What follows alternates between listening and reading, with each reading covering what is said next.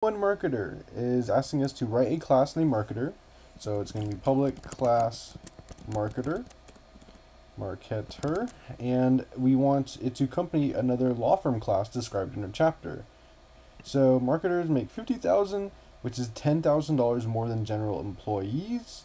Um, and then we have additional methods in here that prints this. And we want to make sure we interact with the employee superclass as appropriate if we click this related link, employee.java, it's going to take us to something like this, and we can see um, what this class is about. So there's good information right here. It's public class employee, and you have all this right here.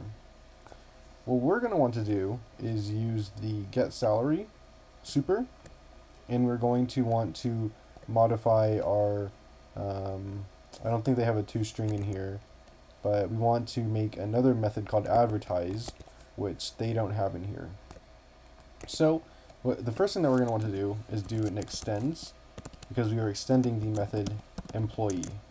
So we want to extend this and then inside of here, let's start off with the super.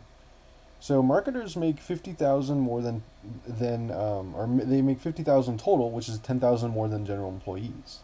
So what we'll have is public, and this should be, if we are going off of what we have here, get salary, and it's going to be a double.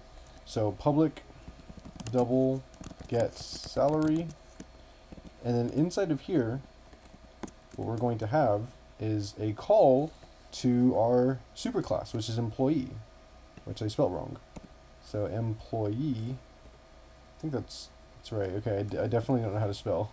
So employee, inside of here, what we're going to want to do is return, and we're going to do um, super dot get salary.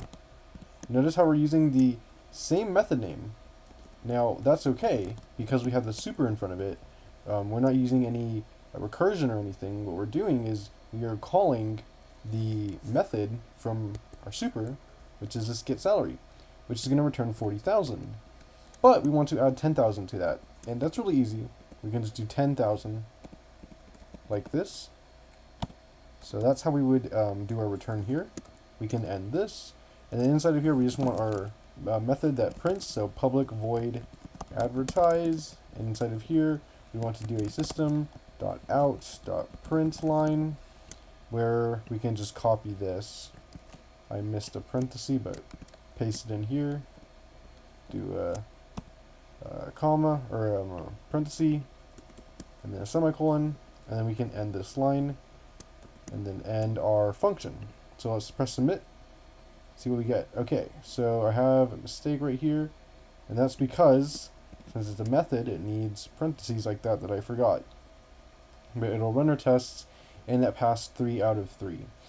So that's how we would do it. Um, that's basically how supers work if we want to extend a class.